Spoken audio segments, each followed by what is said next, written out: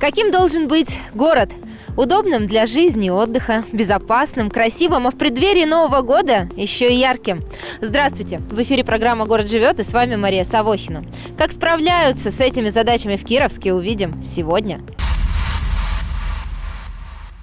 Зима в Кировск пришла с метелями и морозами, но Центр материально-технического обеспечения готов к любым капризам погоды. Касается это как механической, так и ручной уборки города от снега. Работы идут круглосуточно, 7 дней в неделю. 24 на 7, как сейчас модно говорить.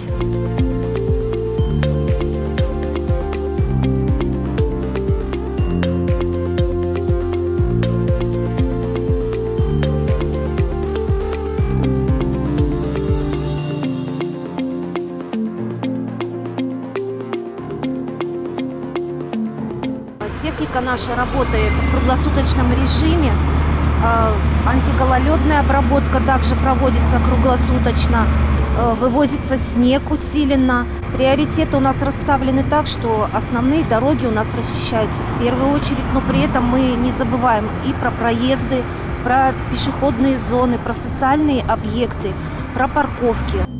С начала сезона с городских территорий уже вывезено более 33 тысяч кубических метров снега. Для примера, один самосвал вмещает около 20 кубометров или 8 тонн снежных масс. В рабочую смену он делает около 18 рейсов. У водителя-погрузчика дежурство еще напряженнее. Это наша работа. Мы ж не первый год работаем. Работа нравится? А куда деваться? Нравится. Я 35 лет уже на погрузчике. Следить за тем, как убирают улицы, можно через интернет. Для этого в нашем регионе на портале «Наш Север» создан специальный сервер. Здесь можно увидеть, какая техника на смене, график выполнения поставленных задач и виды работ.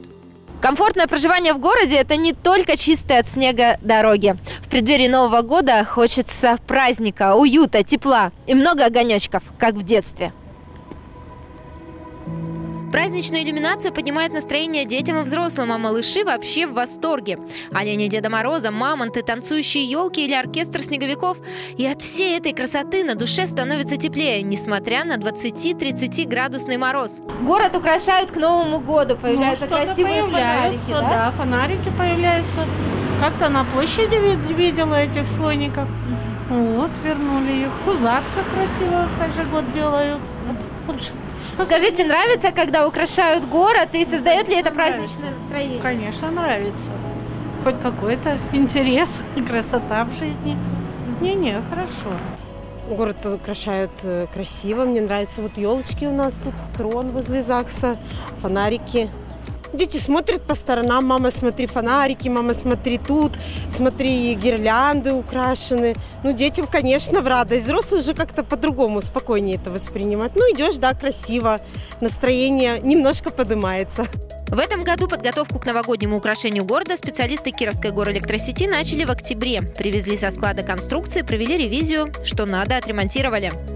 То есть люди не особо аккуратные, детей сажают, там и сами облокачиваются, все рвется. Все. А чем опасно вообще зимой сажать э, ребенка и самому прикасаться вот к этой скульптуре с электричеством? Ну так это же электричество. Так, если рядом стоять, не опасно. Ну, то есть нужно очень аккуратно и бережно относиться еще не только потому, что это наше общее имущество, а потому что повреждение этого имущества может быть опасно для здоровья. Только после тщательной проверки световые украшения появляются на улицах города. Важно, чтобы было не только красиво, но и безопасно. Установлено более 30 световых фигур. Это такие, как мамонты, снеговики, олени и другие композиции. Э, Также на опорах наружного освещения размещены э, светодиодные консоли световые. В общей сложности их будет более 100 штук. Соответственно, будет наряжено 8 маленьких елей и одна центральная ель на городской площади. А с каким нетерпением все ждали главную новогоднюю елку. И вот она приехала, живая 14-метровая красавица, которую установили работники ЦМТО. А вот наряжают специалисты Кировской горэлектросети. Украсят елку не только гирлянды, но и работы участников конкурса «Наряжаем елку вместе». Как прошлогодние, так и новые. До 15 декабря включительно свои поделки можно принести в читальный зал Кировской центральной городской библиотеки имени Горького в часы ее работы. Библиотекари говорят, что в последнюю неделю кировчане стали активно приносить елочные игрушки, сделанные своими руками. Многие из них коллективно их изготовили воспитанники детских садов. У вас тоже есть возможность нарядить городскую елочку. Приветствуются игрушки с фантазийными рисунками, объемные фигуры, стилизованные сосульки, конфеты, бусы, шары. Условия конкурса елочного украшения должны быть размером от 35 до 75 сантиметров, весить не более полутора килограмм и приготовлены из материала устойчивый для наших погодных условий. Важно оставить контактную информацию об участнике, чтобы организаторы могли связаться с ним во время подведения итогов. А какая зима без горки? В театральном дворике ее уже монтируют. Конструкция горожанам хорошо известна и уже опробована нашей детворой. Общая протяженность скользящей поверхности 10 метров. Несколько лет назад требования о безопасности подобных конструкций ужесточили. Власти Кировска тогда приобрели разборную горку многоразового использования, которая соответствует всем ГОСТам и стандартам безопасности.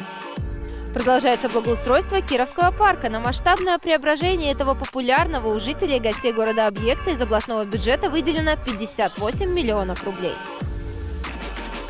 При разработке проекта постарались учесть интересы посетителей самых разных возрастов. Из новинок – входной знак с картой территории. Продолжается установка навигационных табличек указателей. При входе всех встречает полигональная фигура лося. В районе игровых площадок появился медведь, также сваренный из металлических листов. Помимо благоустройства, мы в парке еще выполняли э, замену э, светильников. Э, на светодиодные установили дополнительно 30, 30 опор и поменяли старых ДНАТовских светильников 85 штук.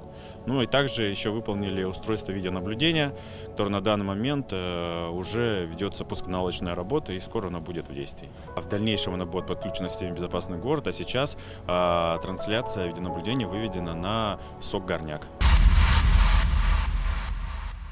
Не устаешь удивляться, как быстро преображается Кировск. Всего за несколько дней он стал похож на зимнюю сказку.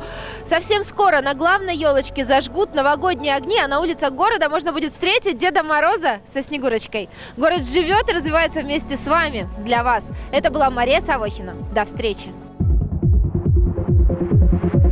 Thank you.